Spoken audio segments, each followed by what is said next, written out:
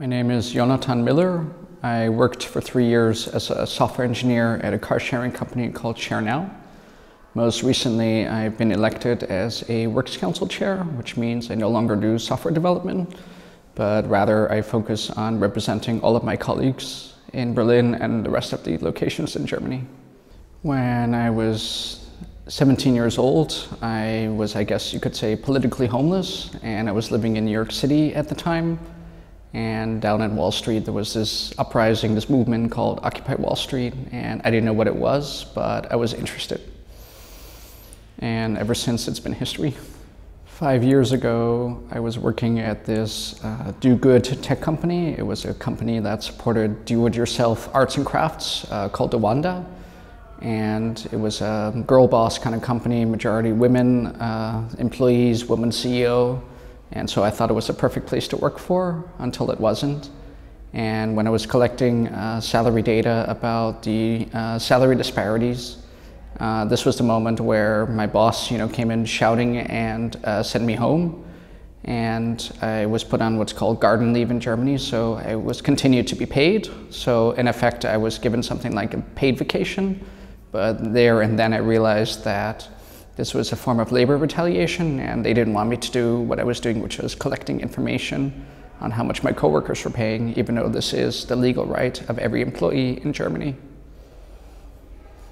I wish solidarity was a daily reality rather than an aspiration. And when we look at the global value chain, I want every worker, every consumer to understand all parts of the chain. So what you're buying in a supermarket is not just uh, what labor went there in the supermarket, but went, went in industrial mining, in the shipping yards, in the uh, extraction of the natural resources.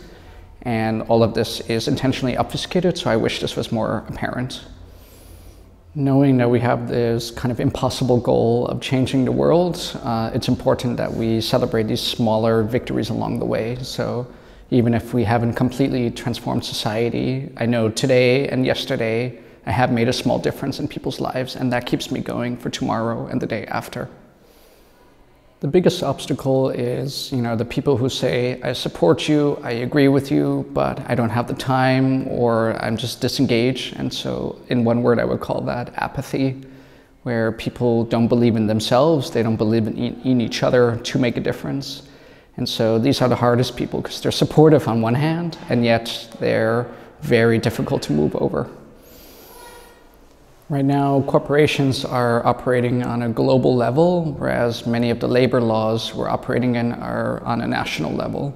And so, uh, while you know labor rights are playing uh, checkers, companies are playing chess, and so there's a lot of catching up to do.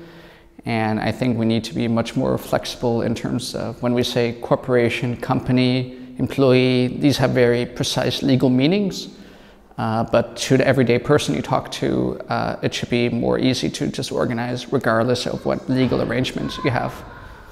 So whether you're a gig worker, whether you're working for a multinational company in an aviation or shipping yard, or whether you're a remote worker where the address of your company is one place, or you're physically living is in another. There's a lot of catching up or simplification to do. So right now, uh, one of the biggest limitations when we look at the Works Constitution Act, the legislation for supporting the formation of works councils, uh, there are limits for employees with limited contracts. The duration of protection is not extended, so what many companies do is rather than firing uh, labor organizers, they simply wait for the contracts to expire and coincidentally, they just decide not to rehire those people. So this is uh, one major problem. Another is when you talk about works councils, that's on the local level. But often what happens is you have different uh, separate legal entities in the same corporation. So in a company like Amazon, they have dozens of works councils, but because the corporation of Amazon is not headquartered in Germany, it's in Belgium and in Luxembourg, there is no right for each of the local works councils to organize as a group, as a group works council. So this is something that's obvious. Amazon takes advantage of it, and German legislators overnight could end this practice. This is something that even to every coworker in my company is super obvious. We're a car sharing company, so We operate both uh, electric vehicles as well as combustion engine vehicles.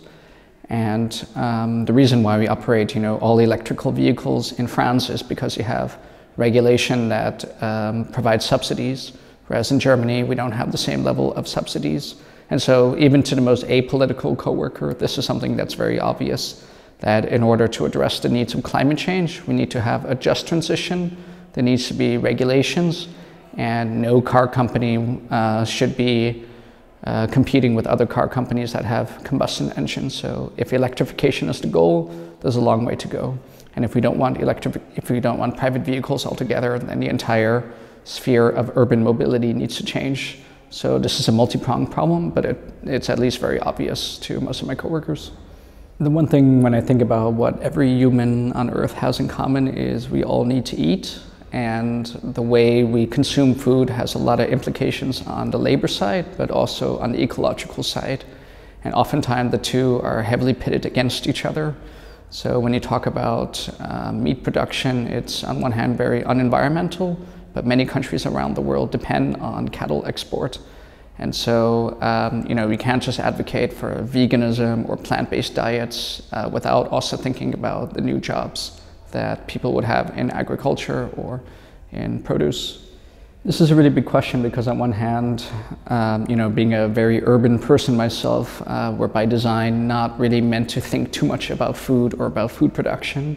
So it's a really good question. Um, you have companies like Infarm, which are advocating for, on one hand, green tick food, but just this week, you know, they also laid off half of the workers. So even if someone like me wanted to work in an area that I think could better the world, uh, that's also not possible if there aren't jobs to do it. And so the reason why I'm also not working on something that could make a difference is how do I sustain myself, you know, from nine to five or what other job I work.